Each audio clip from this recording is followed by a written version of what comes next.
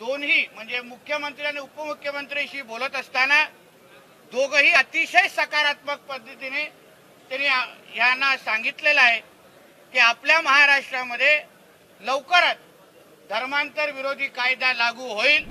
राज्यभरामध्ये जिल्ह्यामध्ये प्रत्येक जिल्ह्यामध्ये हिंदू समाजाचे जे फार मोठ्या प्रमाणामध्ये मोठ्या संख्येने जे काही मोर्चे निघत आहेत हिंदू समाज प्रत्येक जिल्ह्यामध्ये एकत्र येऊन एकमुखी मागणी राज्य सरकारकडे जो करतोय ती प्रामुख्याने मागणी राज्याचे मुख्यमंत्री आदरणीय एकनाथ शिंदे साहेब उपमुख्यमंत्री आदरणीय आमचे देवेंद्र फडणवीस साहेब या दोन्ही नेत्यांपर्यंत सकल हिंदू समाजाची मागणी आणि भावना आणि संदेश पोचावा म्हणून राज्यभरातून जिल्ह्या जिल्ह्यातून माझ्या भगिनी आज आमच्या अधिवेशनामध्ये आलेल्या होत्या. त्यांनी राज्याचे मुख्यमंत्री आणि उपमुख्यमंत्रीची भेट घेऊन महाराष्ट्र राज्यामध्ये उत्तर प्रदेश गुजरात कर्नाटका आणि अन्य राज्यांसारखा एक कडक लव जिहाद विरोधी कायदा धर्मांतर विरोधी कायदा आमच्या महाराष्ट्रामध्ये पण लवकरात लवकर यावा लागू करावा अशी मागणी राज्याचे मुख्यमंत्री आणि उपमुख्यमंत्रीकडे केलेली आहे.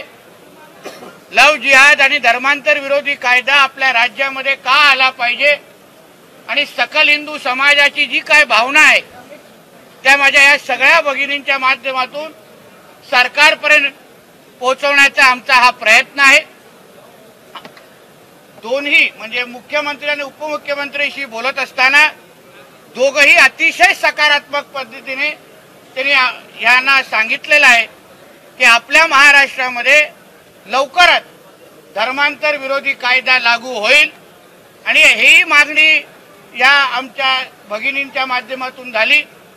ते मोर्चे काढत असताना किंवा धर्मांतर विरोधी संघर्ष करत असताना जे काही कधी कधी प्रशासनाच्या बरोबर संघर्ष करायला लागतो प्रशासन कधी मोजके काही अधिकारी हिंदू विरोधी भूमिका जे घेतात त्याही बद्दल सरकारने लक्ष घालावं तिथेही सरकारने हिंदू समाजाला सहकार्य करावं अशी ही मागणी आदरणीय मुख्यमंत्री आणि उपमुख्यमंत्र्यांकडे केलेली आहे. त्या संबंधितचं निवेदनही त्यांनी दोघांनाही दिलं आहे आम्हाला विश्वास आहे की यानंतर येणाऱ्या काही महिन्यामध्ये जसं त्यांनी आम्हाला सांगितलं आमच्या महाराष्ट्रामध्ये एक कडक धर्मांतर विरोधी कायदा निश्चित पद्धतीने लागू होईल असा विश्वास या निमित्ताने आम्ही व्यक्त केलेला आहे.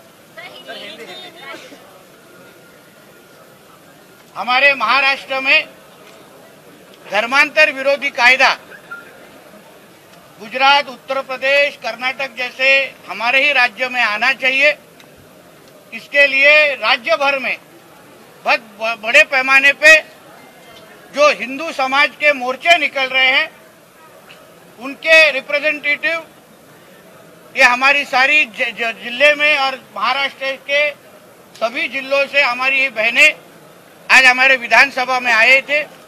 उन्होंने राज्य के मुख्यमंत्री और उप मुख्यमंत्री से बात करके हमारे महाराष्ट्र में धर्मांतर विरोधी कायदा मतलब लव जिहाद विरोधी कायदा, ये लाना चाहिए, ऐसी मांग उन्होंने की है। सकल हिंदू समाज के माध्यम से ये उन्होंने मांग की है। मुख्यमंत्री और उप मुख्यमंत्री दोनों ही पॉजिटिवली इसके बारे में सोचेंगे। और महाराष्ट्र में जल्द से जल्द धर्मांतर विरोधी कायदा लाएंगे ऐसा विश्वास उन्होंने हमको दिया है। तर अ, मुख्यमंत्री अ, आधी तर गृहमं- गृहमंत्री यासोबत सकारात्मक होते मुख्यमंत्री स्पेसिफिक कायद्यासंदर्भात सकारात्मक आहेत का?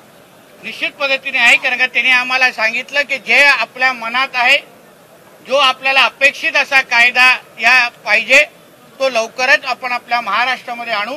असा विश्वास त्यांनी आम्हाला दिलेला आहे. तो टेंटेटिवली कब तक आ सकता है ये अभी उसके बारे में मतलब अब स्टडी चल रही है कि उत्तर प्रदेश गुजरात कर्नाटक में क्या किस तरह से कायदा है उसके लूप होल्स क्या है ताकि जब भी महाराष्ट्र में ये कायदा आए लॉ आए वो सबसे ज़्यादा स्ट्रांग कायदा हमारे महाराष्ट्र में लागू हो इसके लिए जल्द से जल्द मतलब आने वाले महीनों में या तो अगले मार्च के अधिवेशन में आना चाहिए ऐसी हमारी अपेक्षा है।